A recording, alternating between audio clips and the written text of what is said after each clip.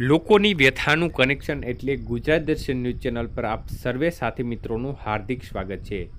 તો મિત્રો, જાણીતા હવામાન નિષ્ણાંત અંબાલાલ પટેલ દ્વારા ગુજરાતમાં ચોમાસું કઈ તારીખે બેસે તે અંગે મોટી આગાહી કરવામાં આવી છે. તો સંપૂર્ણ માહિતી આપણે વિડીયોમાં જાણીએ તે પહેલાં ચેનલને સબસ્ક્રાઈબ કરી લેજો.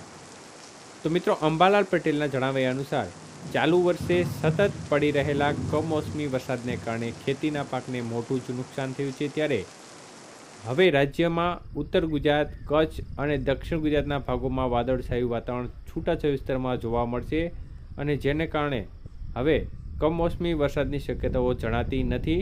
ત્યારે આ બધા વચ્ચે હવામાન નિષ્ણાંત અંબાલાલ પટેલે ચોમાસાને લઈને પણ મોટી આગાહી કરી છે. તો અંબાલાલ પટેલના જણાવ્યા અનુસાર, ચોમાસાના પડઘમ હવે રાજ્યમાં વાગી રહ્યા છે. ચોમાસાની પ્રક્રિયા શરૂ થઈ ગઈ છે. સવારના સમયમાં વાદળો આવે અને બપોરના સમયે વાદળો પાછા ફરી જતા હોય છે. તો સતત આવી પ્રક્રિયા એક મહિના સુધી ચાલતી રહે છે અને આવી પ્રક્રિયા રાજ્યમાં શરૂ થઈ ગઈ છે અને હવે પંદર જૂનથી આજુબાજુ રાજ્યમાં ચોમાસાની શરૂઆત થવાની શક્યતાઓ અંબાલાલ પટેલે વ્યક્ત કરી છે. તો આમ રાજ્યમાં પંદરથી ત્રીસ જૂન સુધીમાં ચોમાસું બેસી જવાની ધારણા વ્યક્ત કરવામાં આવી છે.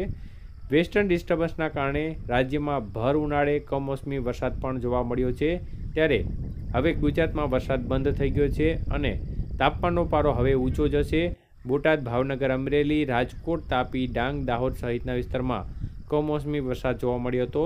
તો આવતીકાલથી ગુજરાતમાં ફરી એકવાર ગરમીનો પારો ઊંચો જવાની શક્યતાઓ વ્યક્ત કરવામાં આવી છે અને નવ મે ના રોજ ગરમી વધતા અમદાવાદમાં યલો એલર્ટ પણ આપવાની આગાહી અંબાલાલ પટેલ દ્વારા વ્યક્ત કરવામાં આવી છે. તો પંદર જૂને ચોમાસાનું આગમનની અંબાલાલ પટેલે આગાહી કરી છે.